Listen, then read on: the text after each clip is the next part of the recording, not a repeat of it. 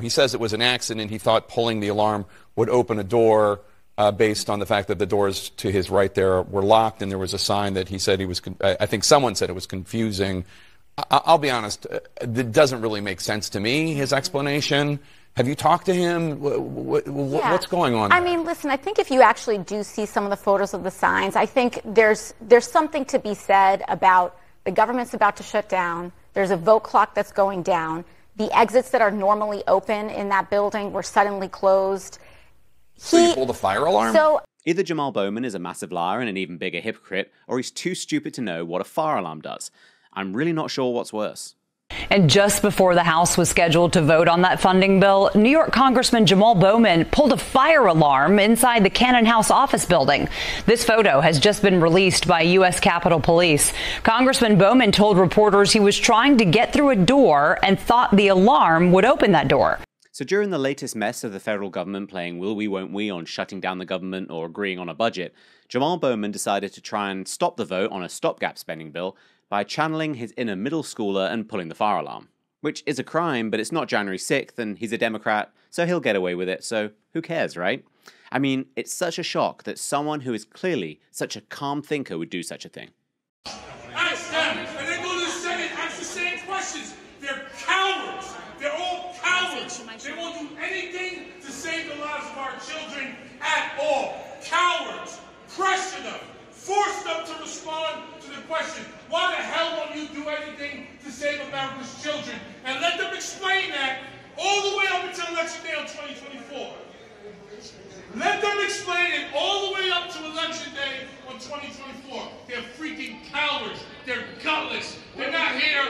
I'm talking about gun violence.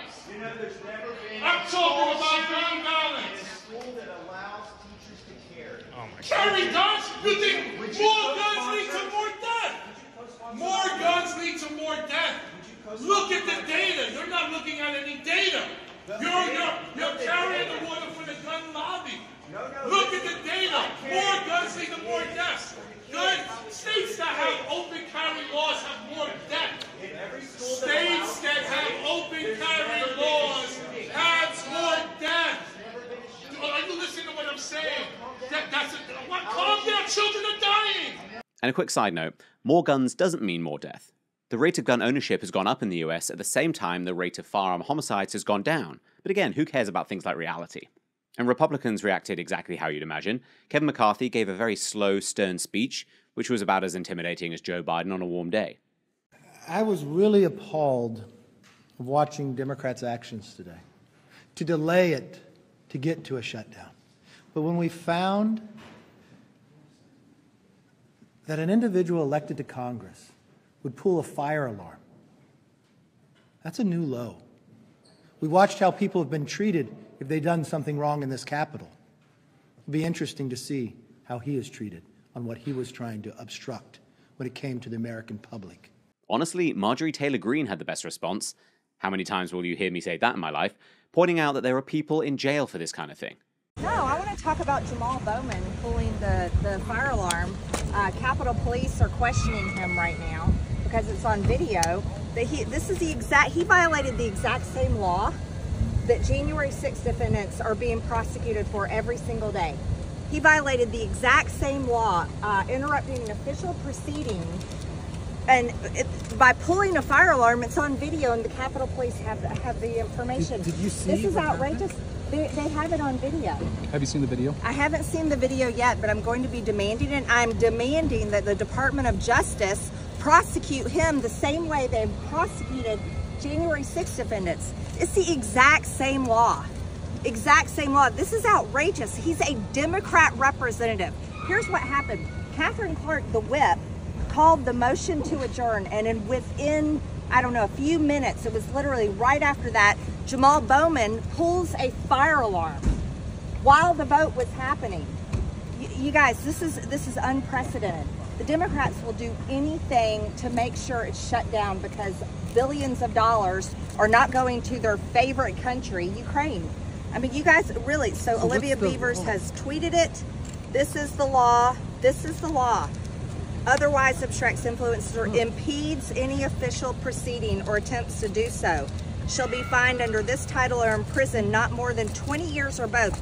This is the law that January 6th defendants are being locked up, they're rotting in jail, and they're being prosecuted every single day. Non-violent offenders are being put in jail for this. You took a video over there. Did you happen to catch like a part of it, or you, you, I saw you posted a video on Twitter? Did Yeah. you catch a part of it? Or Look, it's being reported everywhere. You can ask the cap, go ask the Capitol Police about it. I'm demanding the video. House admin has already reported it. They have seen the video. This is, it's just unbelievable. He's a representative breaking the law. And George Santos even responded. Hi, boys and girls. This is Congressman George Santos. This here is a fire alarm. If you lift this part here and pull this down, you trigger an alarm. Don't do it. Stay good, kids. Can you believe that anyone was actually surprised this guy was a drag queen? But again, Jamaal Bowman doesn't have to worry. He's a Democrat and they play by different rules. And by that, I mean no rules.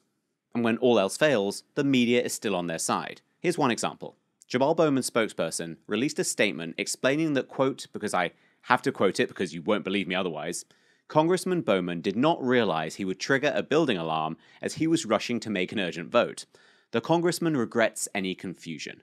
And then Jamaal Bowman came out with a statement I want to personally clear up confusion surrounding today's events. Today, as I was rushing to make a vote, I came to a door that is usually open for votes, but today would not open. I'm embarrassed to admit that I activated the fire alarm, mistakenly thinking it would open the door. I regret this and sincerely apologize for any confusion this caused. Two lots of confusion. But I want to be very clear. This was not me in any way trying to delay any vote. It was the exact opposite. I was trying urgently to get to a vote, which I ultimately did and joined my colleagues in a bipartisan effort to keep our government open. I also met after the vote with the Sergeant at Arms and the Capitol Police at their request and explained what had happened. My hope is that no one will make more of this than it was. I am working hard every day, including today, to do my job, to do it well, and deliver for my constituents. Peace and love. Oh, I see. I'm just confused. Those pictures don't mean anything. This is like saying, I'm sorry, you're angry. Axios also reported that Bowman said he thought the alarm would open the door, which isn't how alarms or doors work. And MSNBC, of course, worked overtime to clear up the confusion. Last thing I want to mention, and then we're going to take a quick break. Um, there was a mention of Jamaal Bowman, Congressman um, Jamaal Bowman, and the pulling of some sort of fire alarm. And I just want to read for you some of the reporting so you understand what actually went on there. Um, there were some reports that began to emerge about Representative Bowman, who was um, seen pulling some sort of fire alarm um, in the Cannon House office building earlier today. We got a statement on that. Um, saying Congressman Bowman did not realize he would trigger a building alarm as he was rushing to make an urgent vote. The congressman regrets any um, confusion, just to clarify some things on that, because I know there was um, likely some folks kind of scratching their heads wondering what it was they were asking um, Speaker McCarthy about. So let's believe for a second that Jamaal Bowman actually didn't realize he would trigger an alarm by pulling the handle marked fire in big red and white letters. Wouldn't that make him the dumbest person to ever be elected to Congress? And yeah, that would be saying something. There was an interesting moment uh, over the weekend when your New York colleague, Congressman Jamaal Bowman, and he's under investigation for this now after Capitol Police say he pulled a fire alarm in one of the House office buildings. Democrats were trying to delay a vote, a final vote on the bill. Uh, there he is uh, pulling the fire alarm. He says it was an accident. He thought pulling the alarm would open a door.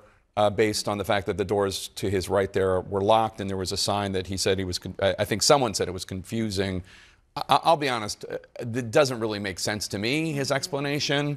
Have you talked to him? Wh- wh- wh- Yeah. What's going on? I mean, listen, I think if you actually do see some of the photos of the signs, I think there's there's something to be said about the government's about to shut down. There's a vote clock that's going down.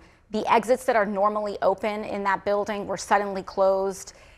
so you pulled a fire alarm? So I'm, I'm, what I am here to say is that House administration and U.S. Capitol Police and Jamaal Bowman are inactive, and he's fully participating in saying there was a misunderstanding. But what I do think is important to raise is the fact that Republicans, representatives like Nicole Maliotakis and others, immediately moved to file motions to censure, motions to expel, before there, before there has even been conversations that are, that are finished to even see if there was a misunderstanding here.